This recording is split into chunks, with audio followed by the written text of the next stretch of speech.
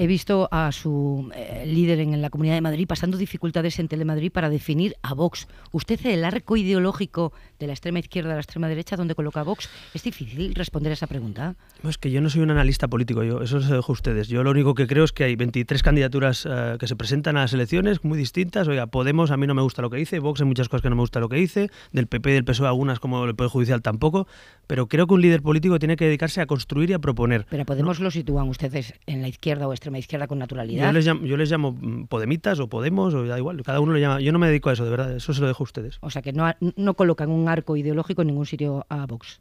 Eso se lo dejo a ustedes, de verdad, que yo no es una candidatura extraparlamentaria de la que yo no me yo, ustedes hablan de eso, yo no hablo de eso. Yo me dedico a intentar ganar a Sánchez en las urnas y a intentar ganar las elecciones y hacer un cambio en Andalucía. A partir de ahí, yo entiendo ¿eh? también que los, los, analistas y los periodistas y todo el mundo opina, pero la realidad es que nosotros tenemos nueve escaños, por ejemplo, en Andalucía, y queremos sacar el doble o el triple. ¿No le escaño. parece un partido de extrema derecha? Bueno, eso lo dejo para ustedes, de verdad.